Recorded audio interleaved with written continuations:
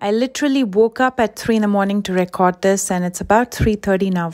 So I'm going to be showing you if you have a swollen face when you wake up in the morning how to reduce the swelling and do a beautiful festival makeup because the festivals are coming up.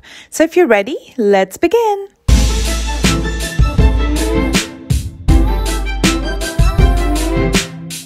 Hi everyone, welcome back. It's Smitha. I hope you're having a fantastic day. In case you're wondering why my face is looking so swollen, that's because I just woke up and that's how my face looks. And many a times I record my video at 2 or 3 in the morning. But not to worry because we have a solution for everything. And if you don't have a solution, then it's not a problem to begin with, right? So I'm going to be using these fourth ray ice globes. What it is, is it's a hollow stick filled with water. So you can place this in the fridge, which I do. I keep it for about 10 minutes and wait for it to cool down. And I massage my face with it. Ice naturally brings down the swelling. And that's what this does. I usually give myself a good massage with it for about 10 to 15 minutes. That's my daily routine. I do this in the morning. And you don't have to use ice or ice globes. You can use anything cool, like a cool piece of cloth or what have you. Like anything cold brings down the swelling. To hydrate my lips, I'm going to be using the Milani lip balm. This is the rose lip balm and I'm going to link all of the products in the description box below. Next, I'm going to be using the Pixi Skin Treats Retinol Jasmine Lotion. Now, this is a very mild retinol and I love this as a moisturizer in the mornings. And today this is going to double up as a primer too. If you love the smell of jasmine, especially during the festival season, then you will absolutely love this product. And then I'm going to be using the Pixi Retinol Eye Cream around my eyes. This has retinol to smooth and refine the lines. It has caffeine, so it kind of depuffs and energizes, especially if you're waking up early like me, you absolutely need that. And I also drank a cup of coffee. So coffee and coffee, I hope that'll help. And then it also has peptides to firm your skin. Now, instead of using a thicker foundation, I always end up using either a tinted moisturizer or a skin tint, something that's light on the face during the festival season. And today I'm going to be using the Milani Glow. This is in the shade 250, which is medium. Now I like to use something lighter because it's quicker and it doesn't look cakey. And we have so many festivals from now through the end of the year, so I don't have to tax my skin by applying all that heavy makeup. But of course, that's just a personal choice. If you like heavier makeup, absolutely you should go for it. Whatever suits you, whatever you prefer and you're comfortable with, and whatever makes you feel more confident. Sometimes I also go heavy. For example, for Diwali, I like to keep it a little bit more heavier because I like to look a little bit more glamorous, let's put it that way. We usually celebrate Diwali at our house, all our friends come over, so I like to dress up a little bit more. Using the Colourpop concealer in the shade 200N, which is a deeper shade, I'm going to start contouring my face. And if you observe, I'm using the same Kabuki brush that I use for my foundation. This is a flat top that I got from Docolor. And I like to use the same brush for multiple products because there's going to be residue of the product left in the brush. That's going to mix with the new product that I'm applying and give me that seamless blend. And then using the Milani concealer, this is in the shade 145, a true match to my skin tone. I'm going to conceal around my eyes and mouth where I have the uneven skin tone. And also please keep in mind that when I demonstrate this makeup, I show you what suits me. I have dark circles, so I have to conceal it. If you don't have dark circles or if you don't have hyperpigmentation, you don't need concealer or you don't need so much concealer. Maybe you just need a little bit to highlight. So you can always use my tutorials as a guide and learn new things, but again, make sure to tweak the tutorial to suit your needs.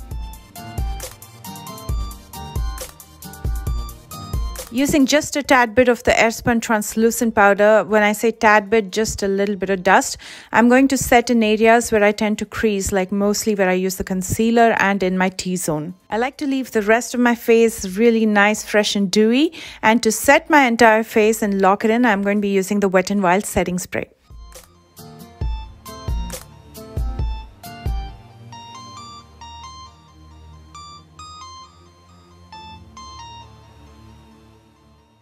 For my brows, I'm going to be using the Wet n Wild BrowSessive Pencil. This is in the shade dark brown. If you've observed, I've used only drugstore products today. Now, this is just an okay pencil. It's not the most highly pigmented pencil, but if you have thick eyebrows like me and you just need a little bit of touch up, then you might as well use something like this because it's just $2.50. But one thing to keep in mind is it's not retractable and sometimes when I try to sharpen it, the tip falls off. It's just a basic brow pencil. However, one thing that I really like about this pencil is it has a non-drying formula.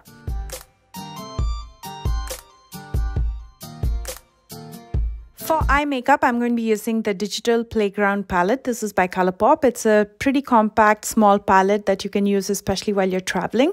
I'm going to start with the shade Juicy. It's a very light matte shade. With my Wet n Wild blending brush, I'm going to use it to warm up my crease and in the outer and inner corners.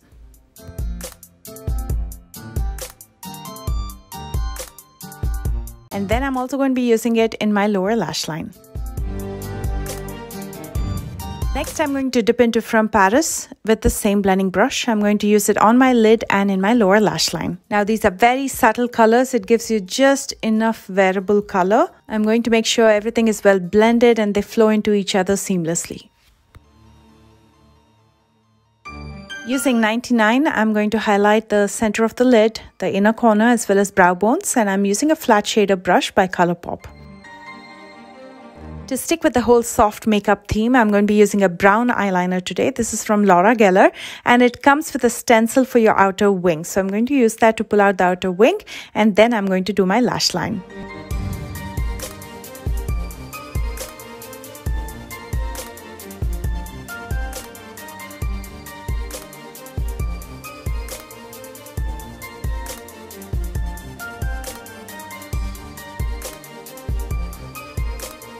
That was super simple and now it's time to finish up with some mascara and I'm going to be using the Grande Lash Mascara.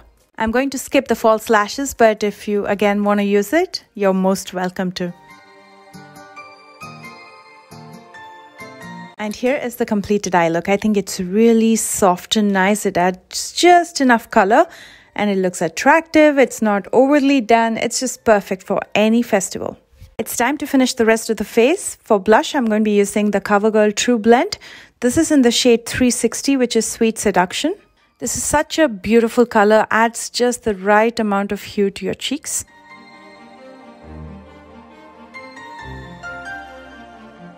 And for lipstick, I'm going to be using the CoverGirl Outlast All Day Two Step Lip Color. This is in the shade Canyon, such a pretty color. It comes with a liquid lipstick as well as it's almost like a lip balm. They call it the moisturizing top coat. So you first apply the lipstick and just to keep it non-drying, you apply it over it.